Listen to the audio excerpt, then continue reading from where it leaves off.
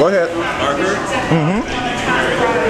Hi, my name is Carl Oxley. We're at Pinwheel Bakery in Ferndale uh, for the opening of my show, Summer Shenanigans.